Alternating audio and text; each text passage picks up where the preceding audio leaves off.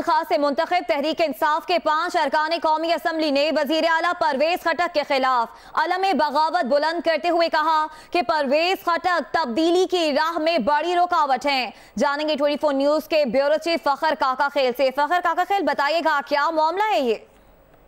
جی جہاں ایک جانب آج تحریک انصاف نے کوہاٹ میں اپنی شو آف پار کی، وہاں دوسری جانب ڈیر اسمیل خان میں ایک تقریب کے دوران تحریک انصاف کے پانچ مینیز، جن میں ٹانگ سے داوڑ کنڈی، لکی مروت سے امیر اللہ مروت، پشاور سے ساجد نواز، ہنگو سے خیال زمان اور ملکن سے جنید اکبر شامل تھے۔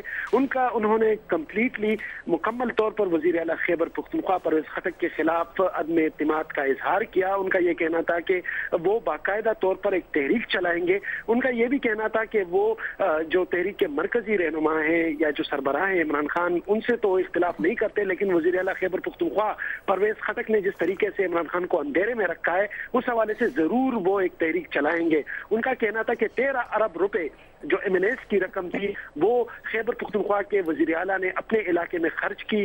نوشہرہ میں جو ان کا بائی علاقہ ہے اور اس کے حوالے سے ان کے پاس کوئی ریکارڈ نہیں کہ وہاں اس تیرہ ارب روپے سے انہوں نے کون سا ترقیاتی کام کیا۔ اس کے حوالے سے ان کا یہ بھی کہنا تھا کہ جو احتساب کمیشن تھا، یا جو انٹی کرپشن کا جو ڈپارٹمنٹ جو عمران خان کی ہدایت پر وزیر اعلیٰ نے بنایا تھا، اس کو مکمل طور پر بند کیوں کیا گیا؟ ان کی جو سرگرمیاں تھی ان پر روک ٹوک کیوں رکھی گئی؟ ساتھ میں ان کا یہ بھی کہنا تھا کہ پرویز خٹک، انہوں نے کافی تلخ جملے استعمال کیے، جن میں سے یہ بھی تھا کہ وہ سیاسی خانہ بدوش تھے۔ اس سے پہلے وہ عوامی نیشنل پارٹی میں تھے اور اب تحریک انصاف کا انہوں نے سہارا لیا۔